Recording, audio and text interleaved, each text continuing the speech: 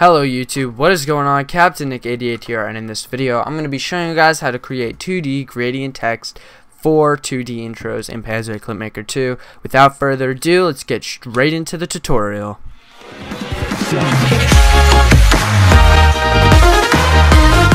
Okay guys, so we are now here in Clipmaker 2 and it is very simple. We're going to have three text layers total and you could group all of these together um, so you can move them all together at the same time I guess but all you're gonna have to do is select this uh, toggle render preview button if you want to and then add an uh, text object I'm just gonna make this say template and I'm to change the font to the bold font. It looks a little nicer.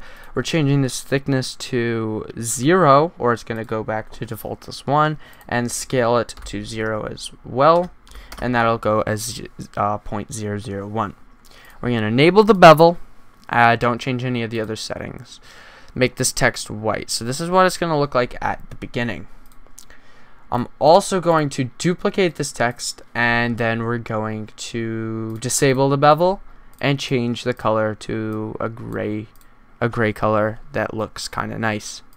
It could be any gray color really. It could be like subtle or it could be kind of darker.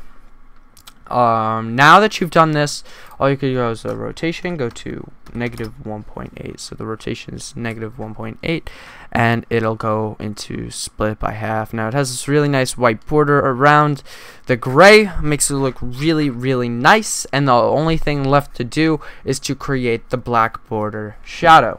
To do this, duplicate the first text. It just makes it a little bit easier to edit and then you want to change the bevel size thickness to 2 the position to negative 0.5 and the other position to negative 0.1 and then you're going to change the color to black.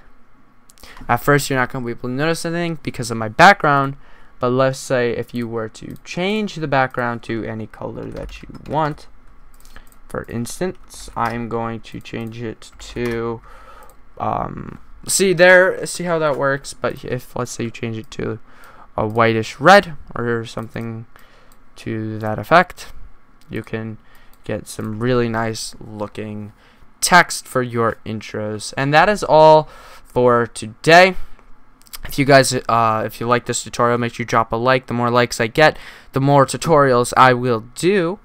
And comment uh, tell me if this helped you down in the comment section. Uh, also tell me other tutorials that you guys want to see. But thank you guys for watching. Until next time peace and bye bye